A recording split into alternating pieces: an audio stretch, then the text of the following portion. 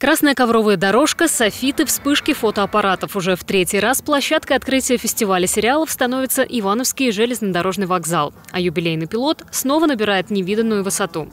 Гостей фестиваля онлайн приветствует президент пилота Валерий Тодоровский. Я хочу сказать, что пять лет фестивалю «Пилот», и, судя по всему, он живой, и он актуальный.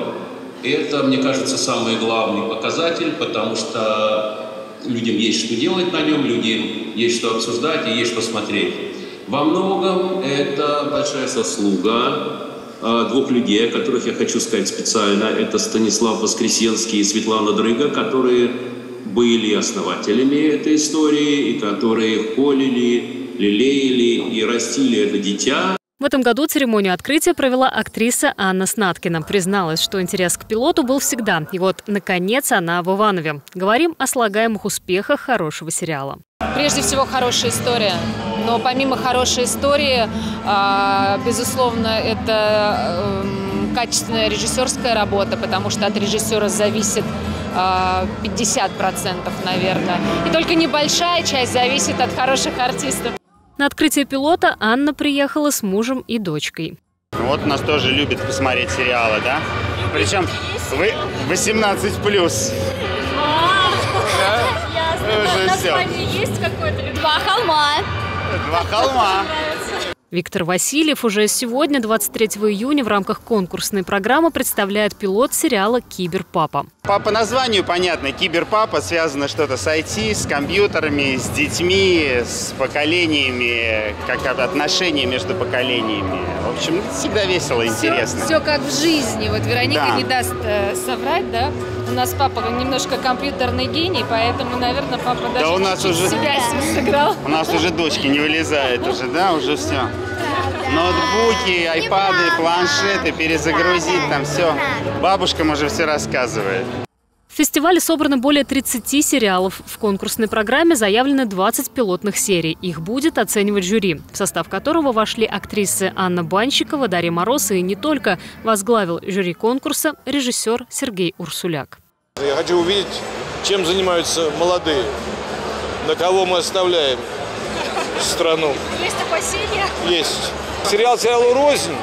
Ну, просто действительно ну, предполагает, что наши сериалы должны рассказывать о нас, но они не всегда рассказывают о нас.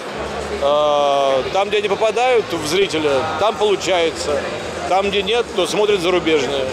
Дарья Мороз рассказала, что приехала на пилота в Иваново своим ходом за рулем авто и уже нашла на Ивановской земле вполне балабановский сюжет. Деревня, заброшенная церковь, она выходит сделать фото и встречает мужчину с топором. Он говорит, это я сейчас топором-то, это у меня тут топор есть. Я говорю, простите, это вы мне? Он говорит, ну а кому ж?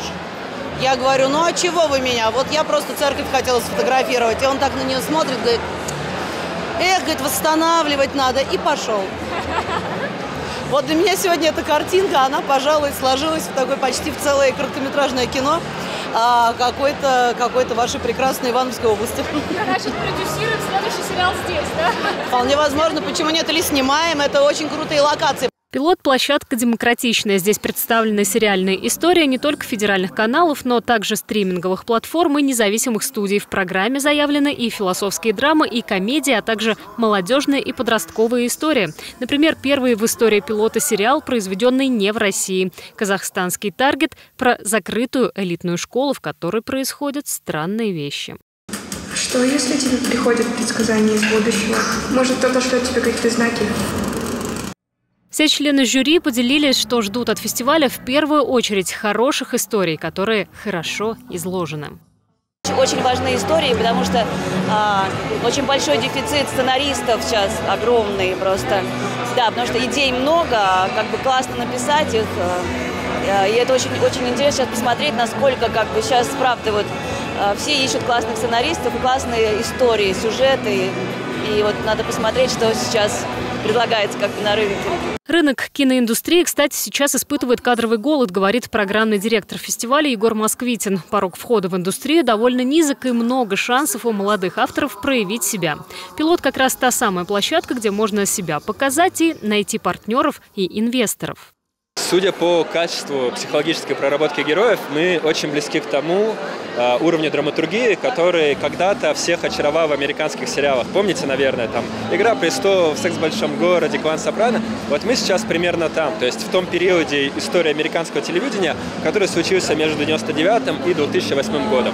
Потом у них была забастовка сценаристов, все резко рвануло вперед, а у нас сейчас, возможно, тоже произойдут какие-то перемены, так что поживем и видим. В этом году награды будут вручены по девяти номинациям. По традиции будет не только выбор жюри, но и приз зрительских симпатий. Статуэтка победителей была представлена в новом дизайне. Ну а первые награды пилота 2023 были вручены уже на церемонии открытия. Спецприз за авторское высказывание в сериале получила режиссер Наталья Мещанинова за работу «Алиса не может ждать». Лучшим шоураннером признали Ирину Сосновую, которая работала над проектами «Содержанки», «Контейнер» и другими. Ну а завершилось торжественное открытие открытие пилота сериалом «Библиотекарь», снятым по мотивам одноименного романа Михаила Елизарова. Наталья Сергеева, Максим Шишкин, телекомпания «Барс».